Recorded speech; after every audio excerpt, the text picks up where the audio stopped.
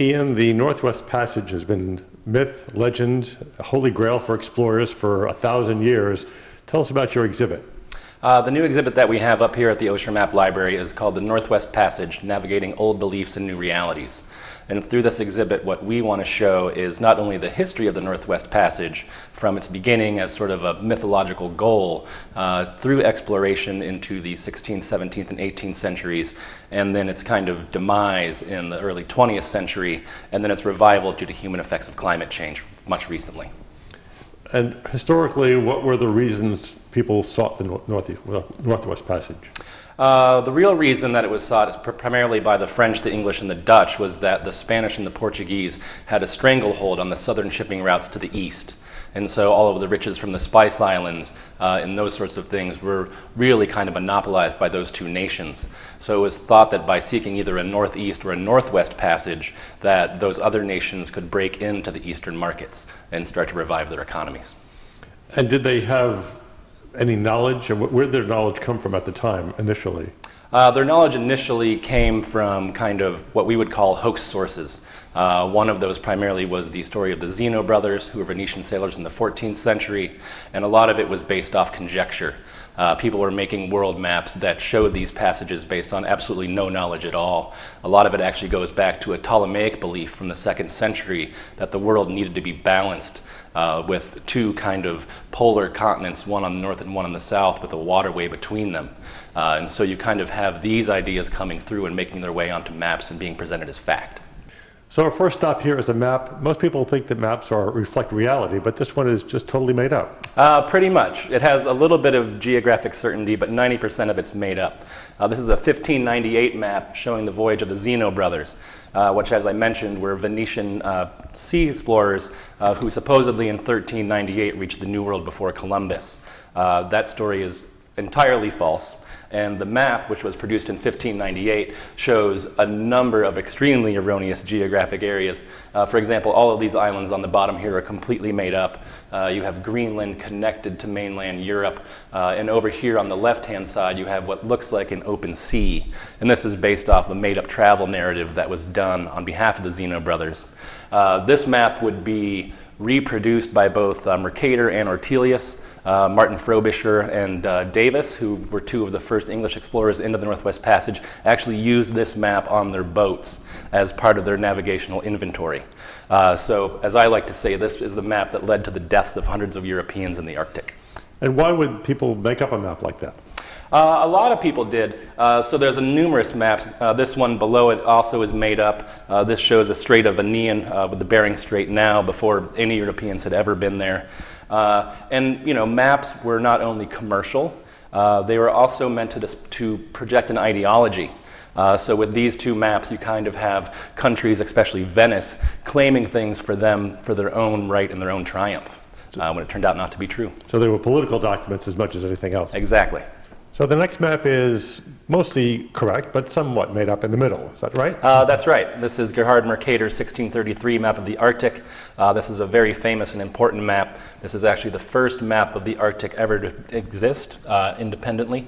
Um, and as you can see, uh, we have Europe, Asia, America around the edges of the map. Uh, which is good geography. This is one of the first polar projection maps that was, mass- that was widely produced. Uh, but when you get to the actual pole, things get a little tricky. Uh, so up here you have an iron mountain, uh, which is supposedly where magnetic north came from. This was a wide held belief. And then surrounding it are these four distinct islands. Uh, this idea actually comes from antiquity. it's mass produced for centuries. and then around it you can see this wonderfully open sea with no current, free of ice. Uh, and so this map would be reproduced for hundreds of years and would influence and be used as a document to uh, go to kings and queens and say, look, we can do this, we can be the first to traverse the passage uh, and make riches for our country. Uh, unfortunately, as we know now, that's not true.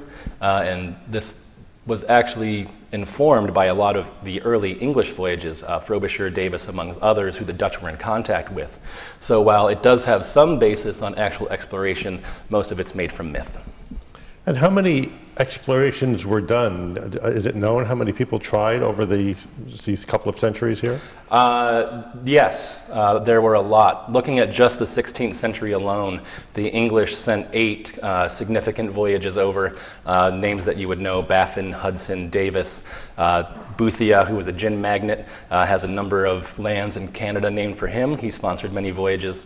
and that's just the beginning. When you get into the 17th and 18th century, we're really talking about hundreds both for the search of the Northeast and Northwest Passage.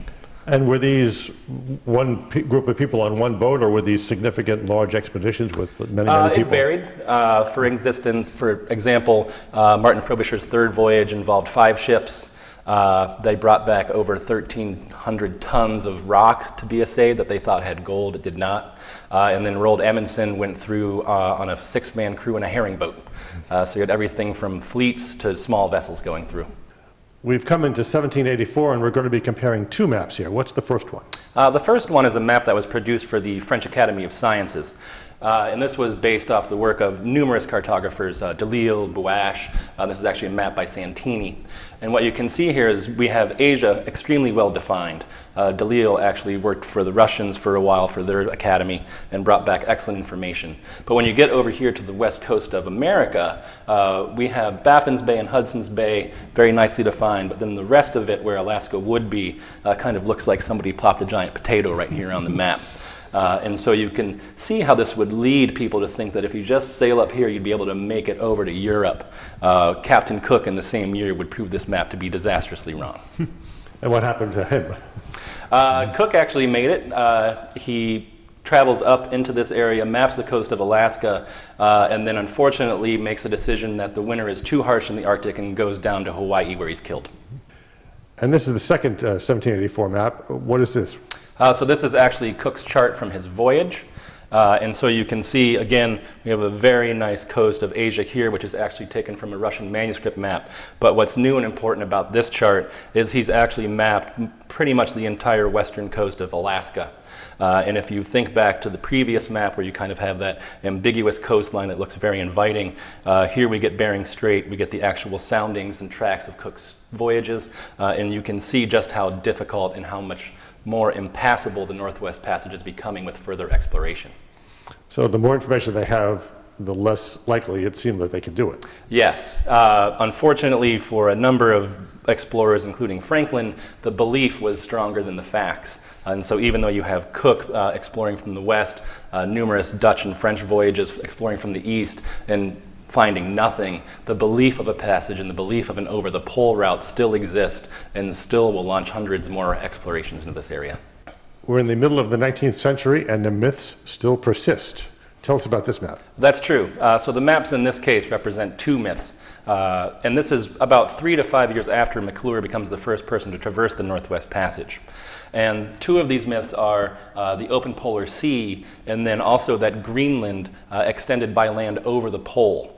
Uh, and even though we have tons of exploration, uh, tons of scientific data coming back, they still believe in these things. The open polar sea was thought to exist because of the warm currents off the coast of Japan that had been observed by German publisher Augustus Petermann.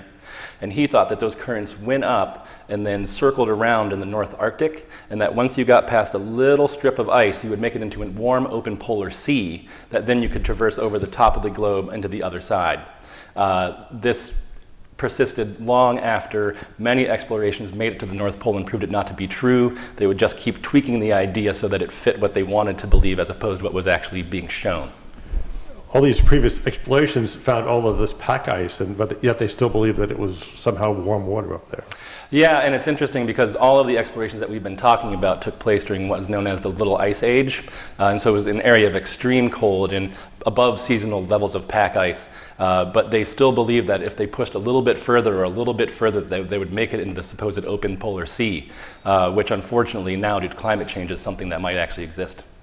Flash forward another hundred years, and we finally have somebody who made it.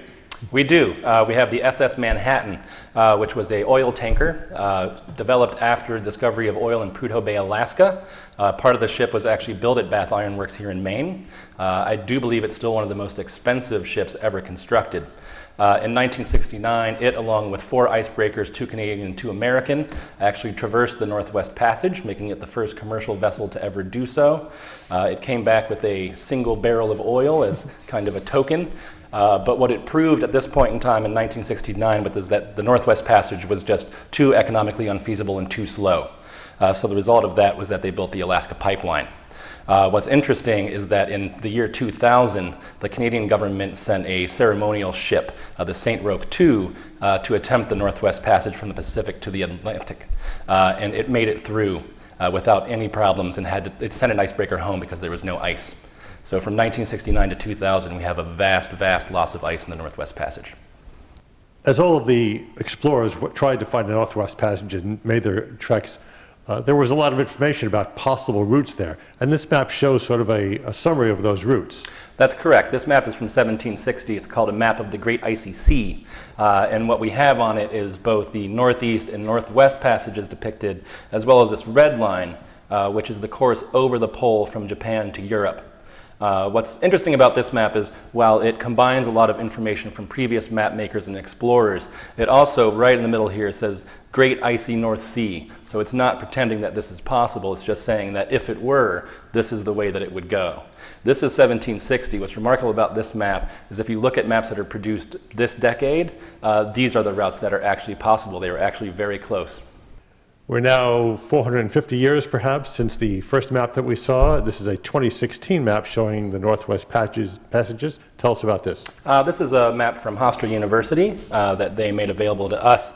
Uh, and what this shows is uh, the blue lines here are the mean pack ice, uh, which flow in and out. And then here we have the various routes. Uh, so here we have a route below Greenland. We have the Northwest Passage here through Canada. Uh, we have the Northeast Passage going over Siberia and Russia. And then this dazzling magenta line is the over the Polar Sea route.